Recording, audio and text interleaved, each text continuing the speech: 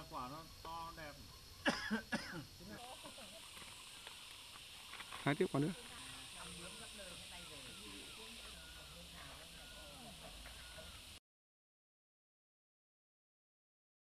Trước thì chúng tôi là là trồng đúa mới trồng ngô. Ví dụ một nghìn mét vuông là nó là một nghìn mét vuông là nó được à, bảy bảy tạ thóc ví dụ thế.